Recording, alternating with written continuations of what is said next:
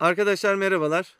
Divan edebiyatıyla beraberiz. Divan edebiyatında nesir türlerindeyiz ve nesrin özelliklerini göreceğiz. Nesir yani divan edebiyatının düz yazı türlerindeyiz. Peki düz yazı türlerinin ne gibi özellikleri vardır? Şöyle bir beraber bakalım. Divan edebiyatında düz yazı genel olarak ikinci plandadır.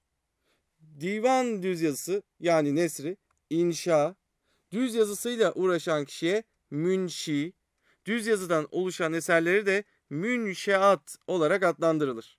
Bunlar önemli kavramlar arkadaşlar. Genelde sınavda karşımıza çıkacaktır. Divan düz yazısında bir düşünceyi anlatmaktan çok onu süslü bir biçimde ifade etmek önemli sayılmıştır. Yani burada da yine sanatlı, süslü ifade önemli. Düz yazı bile olsa. Cümleler oldukça uzun ve sanatlıdır. Yer yer çok ağır bir dil kullanılmıştır. Süslü nesirde seci adı verilen iç uyaklara yer verilmiştir. Bu iç uyakları genelde asonans, ünlüler ya da aliterasyon, ünsüzlerle kullanılarak oluşturulmuştur. Noktalama işaretleri yoktur. Divan edebiyatında düz yazı 3 bölümde incelenir. Sade nesir, orta nesir ve süslü nesir. Sade nesir. Halk için sade bir dille yazılır. Temelde konuşma dili özelliklerini kaybetmemiştir. Sade nesir kolay anlaşılır olmayı esas almıştır.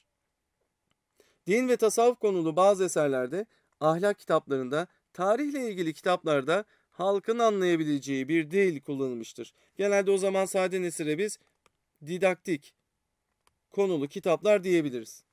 Sade nesirde yabancı sözcükler az kullanılır. Evliya Çelebi'nin Seyahatnamesi, Mercimek Ahmet'in Kabusnamesi, Kul Mesut'un Kelile ve Dimne çevirisi sade nesrin örneklerindendir. Gelelim orta nesre. Orta nesir, halkın konuştuğu dilden ayrılmış, yer yer süslü nesirlerin niteliklerini taşımakla beraber anlatmak istediğini anlaşılır bir şekilde ortaya koyan nesirdir. Bu nesir türüne daha çok tarihle ilgili kitaplarda, divan şairlerin yaşamlarından söz eden tezkirelerde ve vakanüvislerin yani tarihçilerin eserlerinde rastlanır. Aşık Paşazade tarihi, Naima tarihi, Peçevi tarihi gibi eserlerde daha çok orta nesil özelliklerini görmekteyiz. Gelelim süslü nesre.